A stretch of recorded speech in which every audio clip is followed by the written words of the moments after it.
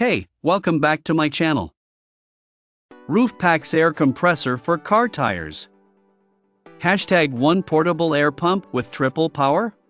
Our RoofPax tire inflator provides the only air compressor solution with three-way power options of 110V AC, 12V DC, and a 20V lithium-ion battery.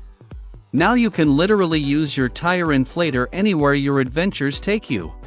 Enjoy the safe and easy way to fill up all your tires and inflatables in your home, car, and in the great outdoors. Easy to use tire inflator with smart monitor? Our premium tire inflator is simple and portable to use anywhere. Just set your RoofPax tire inflator to the specific pressure, and then watch on the smart digital screen as your tires fill up to just the right amount. And the best part?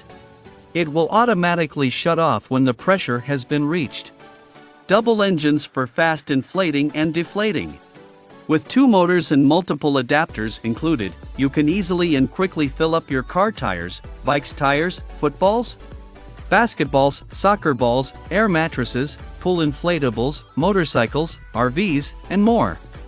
Get the exact amount of air pressure within minutes with our premium RoofPax tire inflator pump.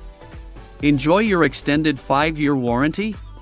We, at RoofPax, sell only the highest quality products that we can stand behind their quality with an exclusive 5-year warranty.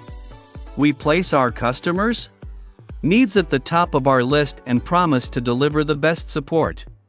You can click the yellow Add to Cart button with complete confidence in your purchase. Never get stuck with flat tires again.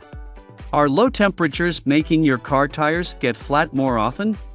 Now you can always keep your tires full and safe to drive all year round with our portable RoofPax tire inflator. It makes it easy and convenient to inflate your tires anywhere and anytime they get low. Just set the gauge to the desired pressure and watch as your tires automatically fill up to the just the right amount. Never too full or too low. Check out the video description for updated price. Thank you for watching this video. Please subscribe and hit the like button.